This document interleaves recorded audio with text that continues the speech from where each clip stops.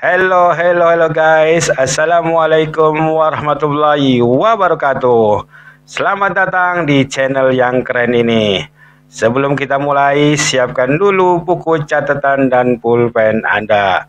Segera hidupkan komputer Anda dan kita berdoa semoga kita dapat mengambil manfaat dari video ini. Berikut adalah materi-materi yang akan kita bahas kali ini. Tidak berlama-lama, marilah kita mulai saja pelajaran kali ini. Check it out.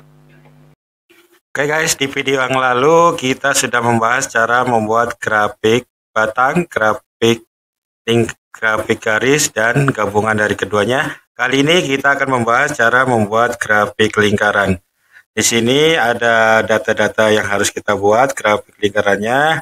Cara membuat grafik lingkaran itu mudah, Tahap pertama adalah kita mengklik dulu datanya, kita blok dulu semua datanya, kemudian insert, nah cari yang pi. Pi, kita pakai pilih yang 2D aja dulu, dua dimensi. Nah setelah ini, kita ingin angkanya keluar dan kategorinya keluar. Caranya gimana? Kita pilih dulu yang presentase, karena kita mau lihat juga presentasenya berapa, klik yang ada persennya ini.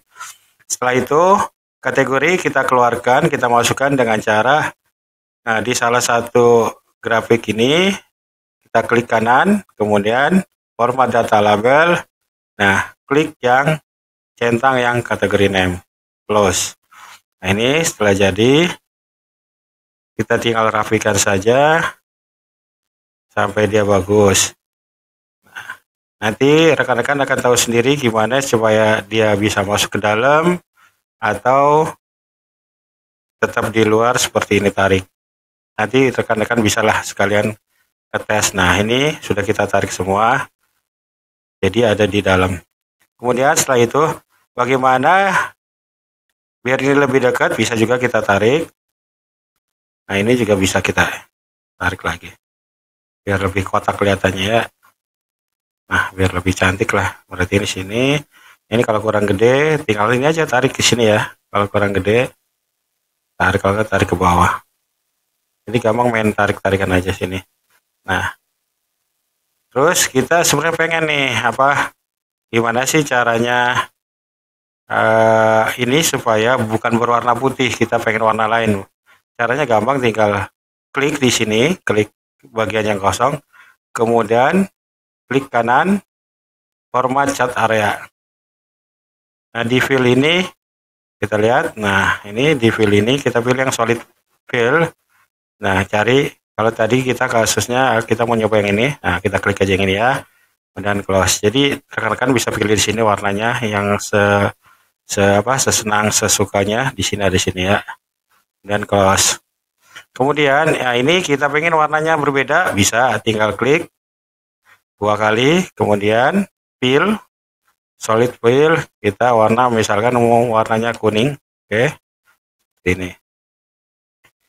Terus setelah itu gimana cara merubah? Ini kan fontnya kecil nih hurufnya. Kita merubah gimana caranya? Tinggal klik. Nah bagian situ nah pilih yang kita ke home kemudian ini tambahin aja. Ini juga. Kalau ngerapin tinggal tarik posisinya.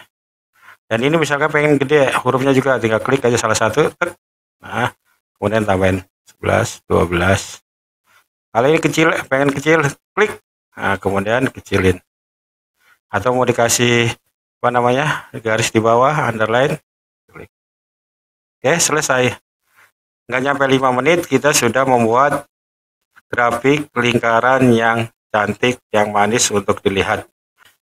Oke guys, sekian materi kali ini uh, yaitu cara membuat grafik lingkaran.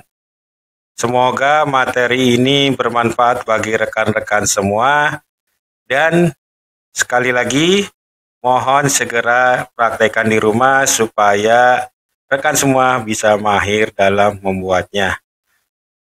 Akhir kata, terima kasih untuk semua yang telah berpartisipasi membangun channel ini supaya lebih bermanfaat bagi orang lain. Wassalamualaikum warahmatullahi wabarakatuh. Salam sejahtera bagi kita semua dan jangan lupa bahagia.